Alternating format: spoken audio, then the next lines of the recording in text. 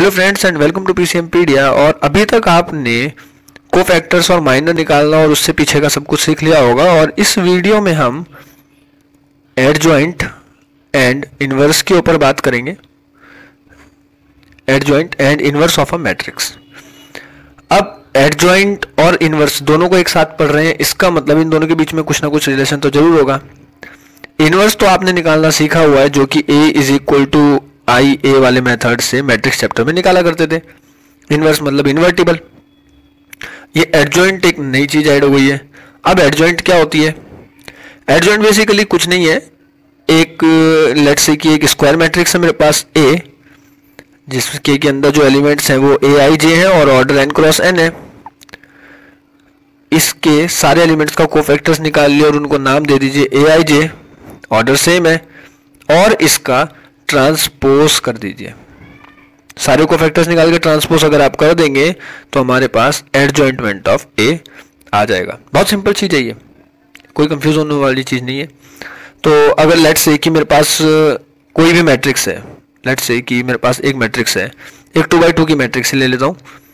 A one one A one two A two one and A two two ये मैंने एक matrix suppose करी two by two order की। ये वाली लाइन हो गई। अब ये वाली लाइन। अब पहले कोफैक्टर्स देखते हैं।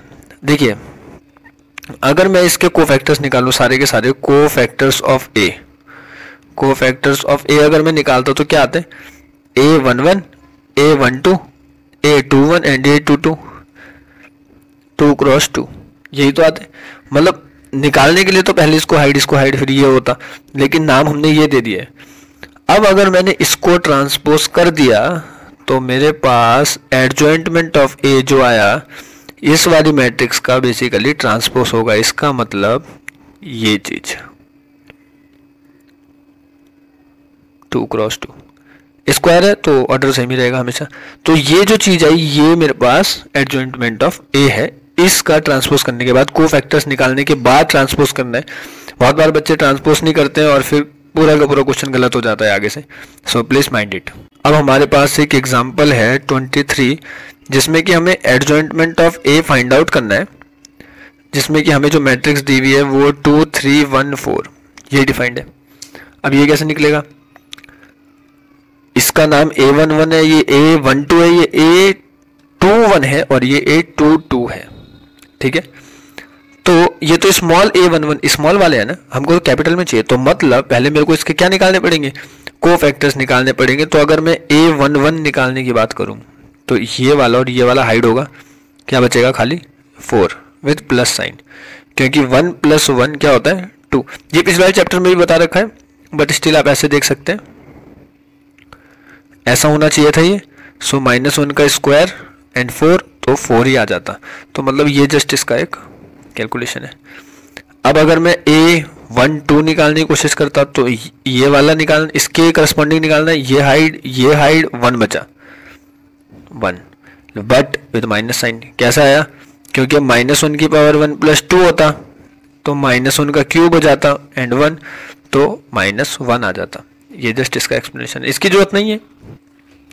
सिमिलरली ए टू वन ये इसके करस्पॉन्डिंग ये हाइड ये हाइड थ्री आया माइनस में, क्योंकि ऑड है और ए टू टू इवन है फोर इसके करस्पॉन्डिंग टू तो मेरे पास चारों कोफैक्टर्स आ गए हैं। तो अब इनको किस तरीके से लिख सकते हैं? Adjointment of A is equal to four minus one minus three two but with transpose sign तो अब जब तक इसका ट्रांसपोज नहीं कर दूँगा, तब तक एडजॉइंटमेंट नहीं आएगा। तो this is the adjointment of that example right अब देखिए इसकी शॉर्टकट ट्रिक क्या है? क्योंकि टू बाई टू मैट्रिक्स है तो छोटी चीज़ है तो शॉर्टकट भी कुछ ना कुछ तो हो गई। अब टू थ्री वन फोर है। अगर मैं इसका डायरेक्ट एडजॉइंटमेंट निकालने की सोचता तो कैसे आता? एडजॉइंटमेंट ऑफ़ ए अगर मैं डायरेक्ट मेरे पास जो मैट्रिक्स है, वो टू थ्री वन फोर ये है। अगर मैं इसका डायरेक्ट एडजॉइंटमेंट ए निकालने की कोशिश करता, ये वाली जो डायगनल है इसको सिर्फ़ और सिर्फ़ आप चेंज कर दीजिए। सिंपल से इंटरचेंजिंग और ये वाला जो डायगनल है, इसमें साइन चेंज कर दीजिए। ये थ्री रहने दीजिए, ये वन ही रहने दीजिए but with minus minus sign अगर यहाँ माइनस होता प्लस हो जाता फिर। ये। सेम आंसर है? तो ये एडजॉइंटमेंट डायरेक्ट निकालने का तरीका है but only applicable for two by two matrix ये बहुत सिंपल चीज़ है, और बहुत ही काम की भी है। अभी इनवर्स निकालना नहीं बताया है। ये सिर्फ़ एडजॉइंटमेंट निकालना है। बहुत बार बच्चे एडजॉइंटमेंट में और इनवर्स में कंफ्यूज हो जाते हैं, जब मैट्रिसेस वाले चैप्टर में जाते हैं वापस से। वो कहते हैं कि टू बाई टू मैट्रिक्स उनके पास है, उनका इनवर्स निकालना है तो वो डायरेक्ट ये चीज़ करते हैं, उन्हें लगता है कि इनवर्स आ गया। नहीं, ये एडजॉइंटमेंट ऑफ़ ए आया है। अभी इनवर्स निकालना आप सीखेंगे, तब पता चलेगा कि basically two by two matrix का अगर दो तीन सेकंड में ही इनवर्स निकालना है तो किस तरीके से निकाला जाता है। अब एक बड़ी सिंपल सी थ्योरम है, जिसमें कहा गया है कि ए को अगर हम एडजॉइंटमेंट ऑफ़ ए से अगर मल्टीप्लाई कर दें, या फिर इसी का उल्टा एडजॉइंटमेंट ऑफ़ ए को अगर ए से मल्टीप्लाई कर दें तो det A into I det A क्या है? एक लाइन का simple one word answer I क्या है? आइडेंटिटी मैट्रिक्स तो डेट ए और आइडेंटिटी मैट्रिक्स के बराबर आ जाता है। अब आइडेंटिटी मैट्रिक्स क्या है? उसमें तो डायगनल वन वन होते हैं, बाकी सब ज़ीरो और डेट ए क्या है? वो तो सिंपल एक नंबर आएगा सिर्फ़। तो मतलब जो डायगनल आएगा, वो कोई न्यूमेरिकल वैल्यू होगी। इन दोनों को मल्टीप्लाई करके ऐसी कुछ चीज़ आती होगी, जिसमें कि सारे के सारे एलिमेंट्स डायगनल को छोड़ के ज़ीरो होते होंगे। तो बेसिकली ये प्रूफ में आ जाता है। तो आपको सिर्फ़ अपने दिमाग में रखना है, ये प्रूफ के लिए आ जाता है। कोई भी आपको एक एग्ज़ाम्पल दे देंगे, वो आपको इस तरीके से प्रूफ करना होगा। आप एग्ज़ाम्पल नंबर 24 भी देख सकते हैं। अब हमारे पास एक दो छोटी छोटी डेफिनेशन हैं, जिसमें कि कहा गया है कि अगर डेट ए ज़ीरो के बराबर हो जाए, अब डेट निकालना तो बहुत ईजी है, वो तो डेटरमिनेट चैप्टर में हम शुरू से निकाल ही रहे तो अगर डेट ए ज़ीरो के बराबर आ जाएगा तो इसको कहेंगे सिंगुलर मैट्रिक्स और अगर डेट ए ज़ीरो के बराबर नहीं आया तो इसको कहेंगे नॉन सिंगुलर मैट्रिक्स ये बहुत ईजी चीज़ है। इसमें तो कोई प्रॉब्लम नहीं है। आप डाटा निकालिए। एक नंबर में आ जाता है कि एक मैट्रिक्स एक डिटर्मिनेंट आपको दे दिया जाएगा और उसमें से आपको डिटर्मिनेंट की वैल्यू निकालनी अपने आप होगी। बस ये बोल दिया जाएगा क्या ये सिंगुलर मैट्रिक्स है या फिर नहीं है। बहुत बार बच्चों ने वर्ड ही पहली बार सुना होता है एग्ज़ाम में जाके फिर पता ही नहीं चलता है क्या करना है। बेसिकली क्वेश्चन तो एक ही नंबर का है क्वेश्चन तो बहुत ज़्यादा ईजी है बट जब आपने वर्ड ही नहीं सुना होगा तो फिर तो प्रॉब्लम हो जाएगी। अब एक थ्योरम है जो कि हमारे पास है। थ्योरम नंबर फोर है वैसे इसमें, जो ये कहती है कि इनवर्स क्या होता है। बेसिकली इनवर्स अब एडजॉइंटमेंट और इनवर्स का कुछ ना कुछ तो रिलेशन होगा ही ना। तो बेसिकली मैं डायरेक्ट एक फॉर्मूला लिखता हूँ जो कि ए इनवर्स को निकालने का काम आता है। One upon det A adjointment of A ये लीजिए। ये एक डायरेक्ट फॉर्मूला है। इसमें ये तो आपने निकालना सीख लिया है। ये आपको आता ही था। इन दोनों चीज़ों को इस तरीके से मल्टीप्लाई करें तो ए इनवर्स आ जाएगा। अब ये ए इनवर्स तो सिर्फ़ तभी पॉसिबल है ना जब ये डेट ए ज़ीरो के बराबर ना हो। इट मीन्स ये क्या होना चाहिए? नॉन सिंगुलर मैट्रिक्स पे ही एप्लीकेबल है सिर्फ़। अगर कोई मैट्रिक्स सिंगुलर है तो उसका इनवर्स पॉसिबल नहीं होता। ये भी पेपरों में आया है कि यह बताइए, क्या इसका इनवर्स पॉसिबल है या फिर नहीं है? फिर आप इस तरीके से चेक करते हैं। तो क्वेश्चन किसी भी तरीके से आ सकता है एक नंबर में। तो ये इन्वर्स निकालने का तरीका है। बहुत बार बच्चे मैट्रिक्स के चैप्टर में जाते हैं। टू बाई टू मैट्रिक्स में सिर्फ़ एडजॉइंटमेंट एक सेकंड में तो निकाल लेते हैं इस वाले तरीके से। इंटरचेंजिंग और चेंज द साइन वाले तरीके से। बट ये डाटे नहीं निकालते और इस वजह से क्वेश्चन गलत हो जाता है। तो ध्यान से, अगर आप शॉर्टकट भी लगाएँ तो वो भी ध्यान से। उसके बाद हमारे पास एग्ज़ाम्पल नंबर ट्वेंटी फाइव है, जिसमें कि हमें एक मैट्रिक्स दी हुई है ए और एक मैट्रिक्स दी हुई है बी और हमें जो वेरीफाई करना है कि ए बी का inverse B inverse A inverse के बराबर है। देखिए, ये तो आपने पढ़ा होगा ना A B inverse B inverse A inverse के बराबर, ऐसा तो लिखा जा सकता है। और बी को पहले मल्टीप्लाई करें, फिर उसका इनवर्स निकालें और बी का अलग से इनवर्स निकालें ए का अलग से इनवर्स निकालें। इतना सारा काम तो करना ही पड़ेगा ना? तो सबसे पहले आप क्या करेंगे? ए को और बी को मल्टीप्लाई करेंगे, जिसका कि नाम क्या होगा?